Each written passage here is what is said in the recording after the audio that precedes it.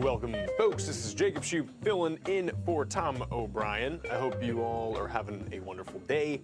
Uh, a lot of news coming out. Let's take a look first, just what the market's doing right now in the ES Mini. Uh, we were at 5,051, so still on that kind of sell-off. Um, what levels we can get to in it. The Russell down about 0.12%, currently trading at 1959. The NQs at 17,574 and the Dow futures uh, back up that 38,000 level. Um, it seems, you know, probably to finish out the week, uh, we're still going to be down. Um, it looks like today will finish down, and then most likely tomorrow that trend won't uh, change. We have some news coming out as well regarding retail sales, and they are up, and that is not always a great sign uh, for inflation. So we'll kind of see how all of that works out and what the market kind of thinks.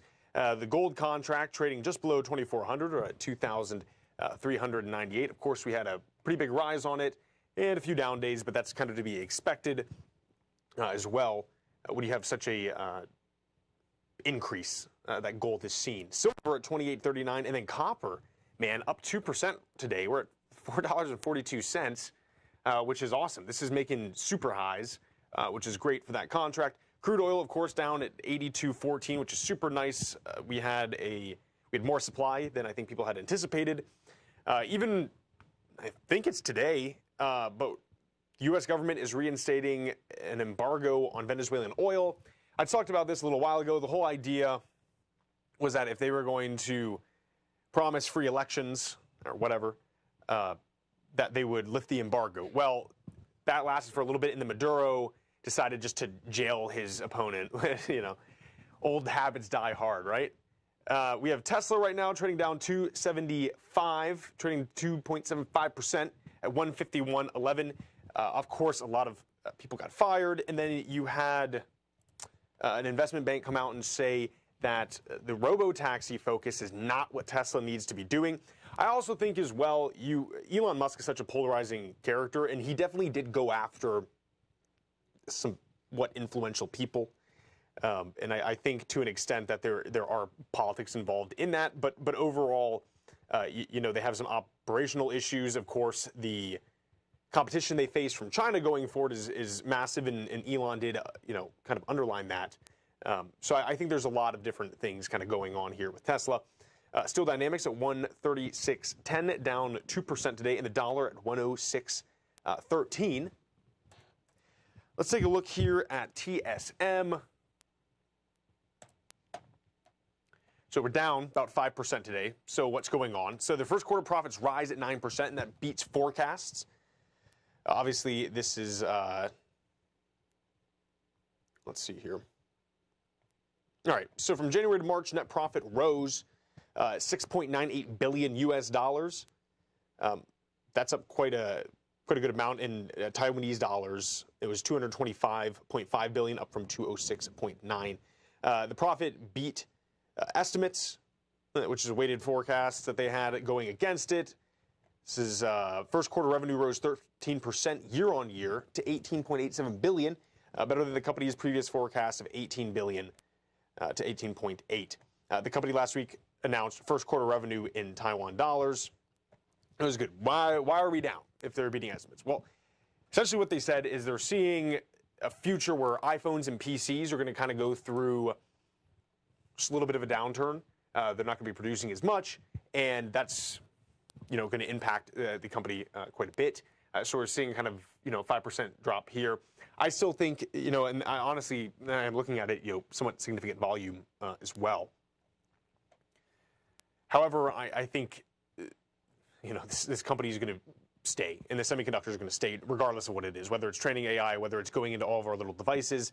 Uh, these companies will remain, and it might be an interesting. You know, obviously, I always say take your analysis on it. I always really suggest reading financials as well, especially if you're going to be a long-term holder of something.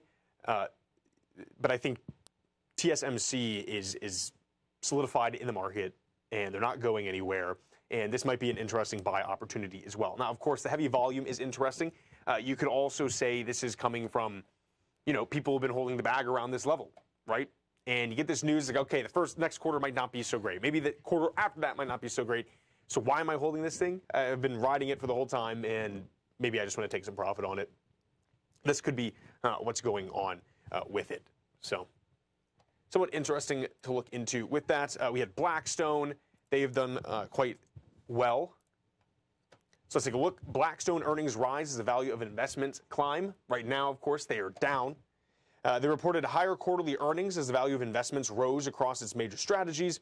Uh, the private equity giant's infrastructure portfolio led the way, climbing 4.8% in the quarter, due in large part uh, to big bet on data centers. Blackstone's private wealth business has the highest inflows since 2022, uh, raking in 8 billion as resurgent public markets gave investors the renewed confidence uh, and wherewithal to invest in private markets. Uh, of course, these are also, you know, relatively safe investments too that Blackstone gets into. Uh, net income was 847.4 million, or a buck 11 a share, and that was nearly 10 times the 85.8 million it earned in the first quarter of 2023. Distributable earnings were 1.27 billion.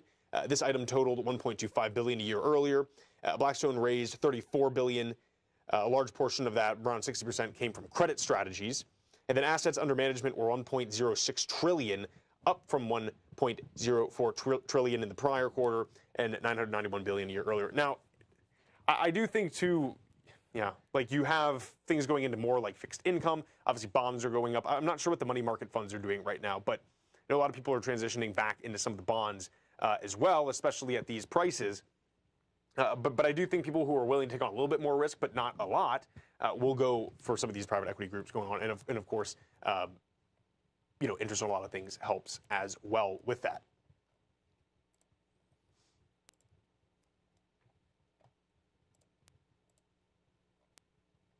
I wanted to pull up something uh, regarding Tesla.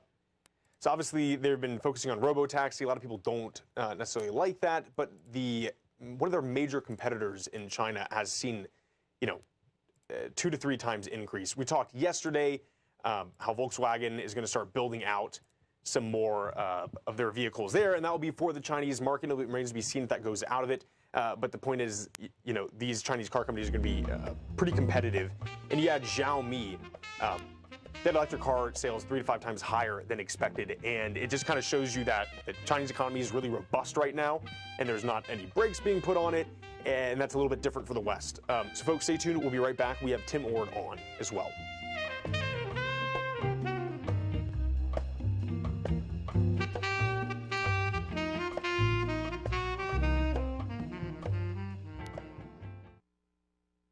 If you spend any time online researching trading techniques on how to begin your trading journey, you've no doubt come across many folks who push Forex trading as a way to make big money quickly. Unfortunately, there are equally as many stories of these so-called Forex professionals just looking to make a quick buck off aspiring traders without actually teaching the ins and outs of the Forex market. This is what sets Teddy Keckstad